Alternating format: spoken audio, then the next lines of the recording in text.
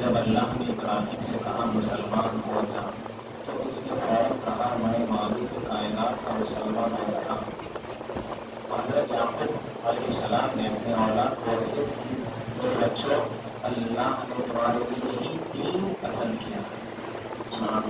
لہٰذا مرتے دم تک تو مسلمان ہی ہے نا مسلمانوں کو کہو کہ ہم ایمان لائے، اللہ پر اور اس کی ہدایت پر۔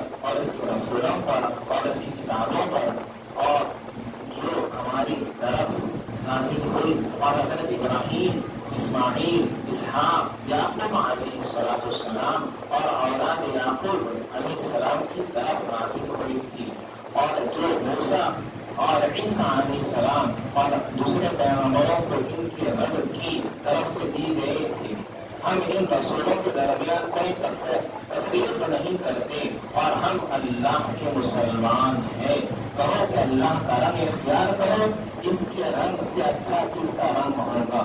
اور ہم اس کی بندگی کرنے والوں میں سے ہیں۔ محترم کرام اس آیت کے کلمہ میں جو باتیں بتائی جا رہی ہے کہ ابراہیم علیہ السلام سے کہا جا رہا ہے کہ مسلمان ہو۔ ابراہیم علیہ السلام اور اسلم تو کلمہ میں کہ اے اللہ میں تو مسلمان ہوں۔ اور تمام مسلمانوں سے مخاطب ہو کر فرمایا کہ مسلمان ہو جاؤ۔ اللہ کا فرماتا ہے اللہ کا شکر ہے کہ اور آپ کو میں بتاؤں کہ عند الدین عند اللہ الاسلام. ابھی جو ہمارے آیا ہمارے دین میں آیا، عند الدین عند اللہ الاسلام. اللہ کی نزدیک پسندیدہ دین اسلام ہے، دین اسلام ہے۔ اور ابھی جو ہے، چند آیتیں ابھی پیچھے گئی ہیں، وقالت اليهود ليست النصارى على شيء۔ وقالت النصارى ليست اليهود على شيء وهم يتلون الكتاب۔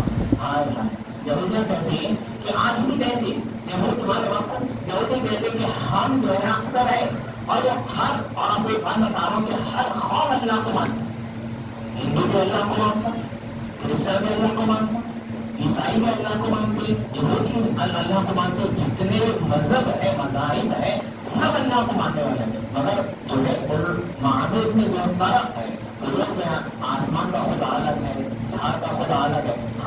ہمارا ایک ہی ہے جو آسمان اور زمین تمام انسان جانور ہر چیز کو پالنے والا ہے، ہر چیز کو۔